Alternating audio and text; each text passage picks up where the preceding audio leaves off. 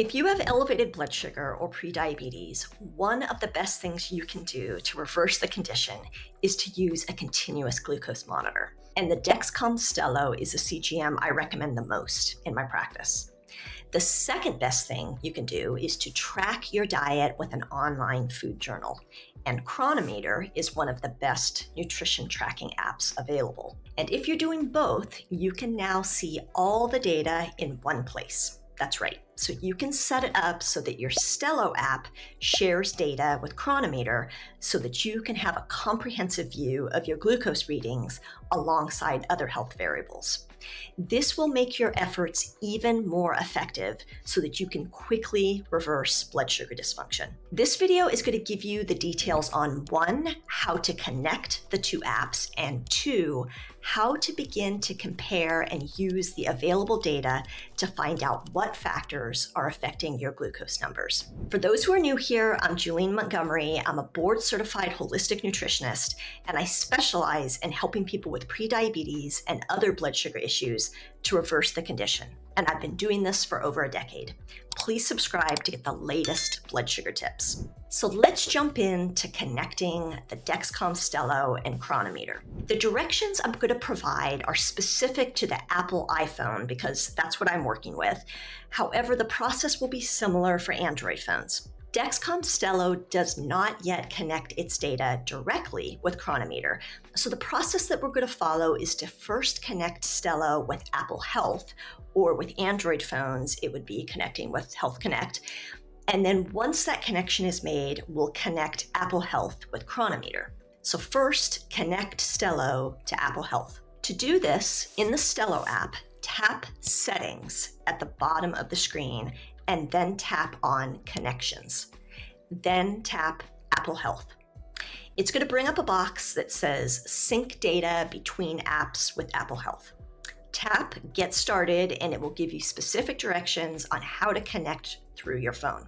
So you can follow those directions and then come back to the Stelo app and tap Done, where it will ask you if you gave Stelo access to the data, and you just tap yes, and then you're all set. Once that's done, you'll then connect Apple Health to Cronometer. In Cronometer, tap the More icon at the bottom of the screen. Then tap on Connect Apps and Devices, and then Apple Health. Once you've connected both Stelo and Cronometer to Apple Health, Cronometer will be able to pull in your glucose data from the Stelo app. Now, something to note is that Cronometer will retrieve the data every three hours as it's synced from Stelo to Apple Health. So there is a three hour delay and you won't see live data in Cronometer. I hope this is something that they'll change in the future. Uh, if you want to force the retrieval of data, go back to more connect apps and devices, Apple Health, and then tap on backfill indicate the date to which you want to fill data back to and hit backfill. And that will essentially force sync the data. Now you'll need to do a, just a little bit of adjusting on how Cronometer displays the data. So in Cronometer, go to charts at the top of Cronometer and then scroll down to where it says CGM chart plus insulin. Tap on the little arrow just to the right of those words. There, you'll see that Cronometer's default is to display the data in millimoles per liter, which is more common in countries outside the US. So I'm going to assume you want to change that since Stelo records the glucose data as milligrams per deciliter. To change that, tap on the settings icon. It's the little gear icon just above the words 72 hour. And that will bring up a screen called CGM chart settings tap the down arrow right next to where it says CGM chart units and select milligrams per deciliter. Now, while you're here, you should toggle off the show insulin button since Stelo does not track insulin. The Stelo sensor is only for those people who are not taking insulin. Second, make sure that show on dashboard is toggled on. And then last, also make sure that the glucose target range is set to normal, which is appropriate for prediabetes and is 70 to 140 milligrams per deciliter. Tap on the little X in the upper left corner and you're finally done. And you should see the data displayed as milligrams per deciliter. Now, let's get into the good stuff how to use the integration to benefit your blood sugar. Now you have your glucose data and your dietary data in one place on Cronometer. The best way to see everything is to stay in that charts area on the CGM chart. There, you can adjust the view to 24 hours, 48 hours, or 72 hours. But remember, the three hour view will not display data because there's three hour lag in the data being sent from Stelo to outside apps. But it's on this screen that you can also choose what to compare your glucose data to. So, for dietary data, I recommend first and foremost choosing carbohydrates to compare. You do this by scrolling down just a little to where it says compare. In this example, it shows cholesterol being compared.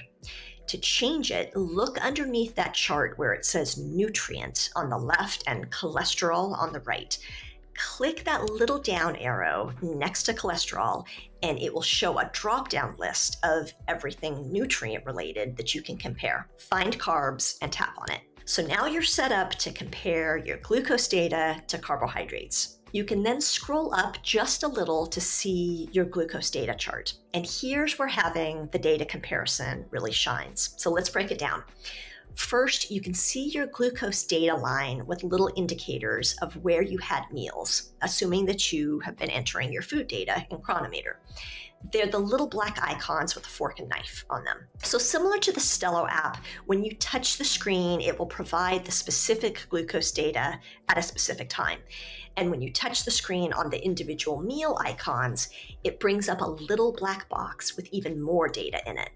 Specifically, it shows your glucose reading at the time you ate and the amount of carbs that were consumed at that meal.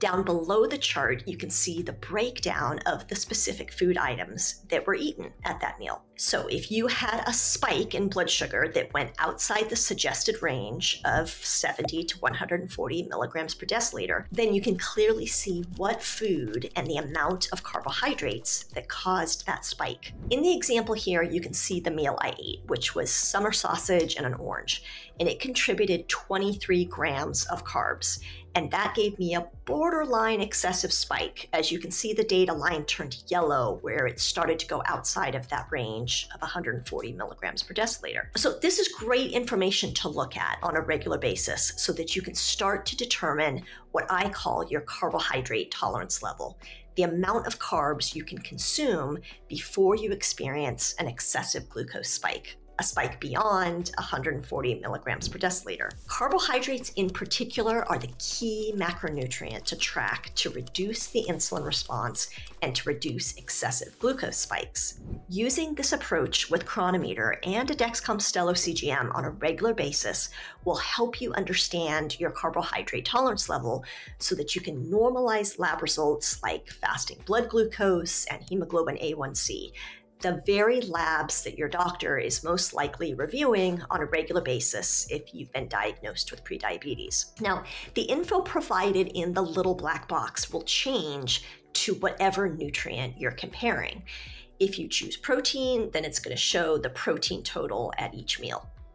You can also compare your CGM chart to a biometric like heart rate variability or body temperature. Now, to do that, you'd need to also be wearing a watch or a Fitbit or maybe even an Oura ring that tracks those metrics that you can then sync that data to Cronometer.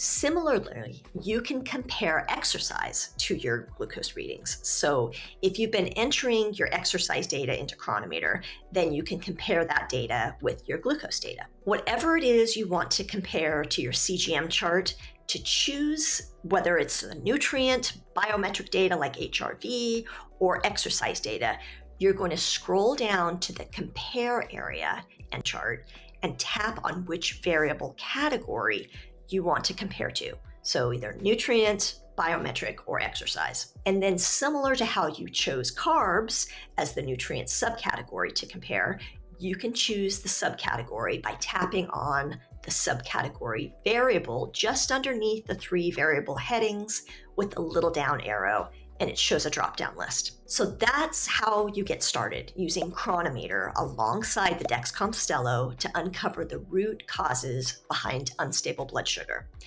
A key component of this effort, as I mentioned earlier, is finding your carbohydrate tolerance level, or CTL.